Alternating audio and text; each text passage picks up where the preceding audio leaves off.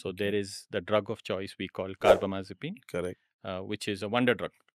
Uh, it was initially uh, when it was really, I mean, when it was introduced, it was as an anti-epileptic medication, Correct. but it works wonders in agree. trigeminal neuralgia. You would agree with me I on that. Um, so a good dose of carbamazepine, uh, which is usually uh, a little bit of trial error because what dose works best Correct. for you will take a little Yes, while to yes, find out. Yes. Titrating the dose. Titrating the dose. Yeah. So we titrate them over the one or two weeks, and by the end of the second week, most patients are able to have their pain under control.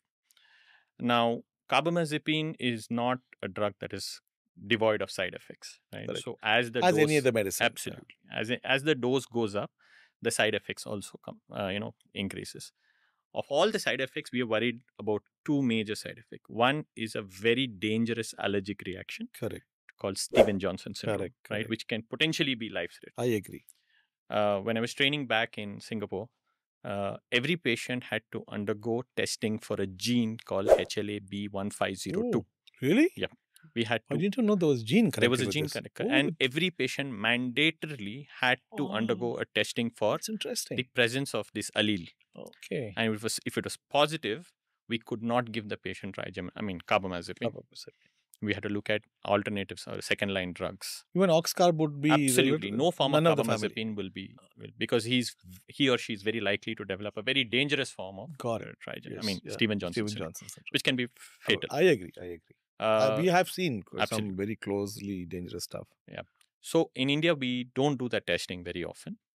I In have fact, not heard of it. Let me be yeah. honest. Yeah. in Southeast Asian population, we are all very prone to the absence or the, this allele. Let's So see. what's called HLA B B- HLA-B1502. one five zero two. So make a note. because of this uh, absence, uh, you are more likely to develop the Got side effects or the dangerous Got side effects. So that testing doesn't Mm. happen here very often. Very few patients. Uh, in fact, if you send it to a lab, they will send it back saying, "Sir, ye do. Mm. we don't have this here." Uh, so eh, this is more. Uh, more of what you see. You just hope and pray that the Correct, patient doesn't develop anything. But we've had.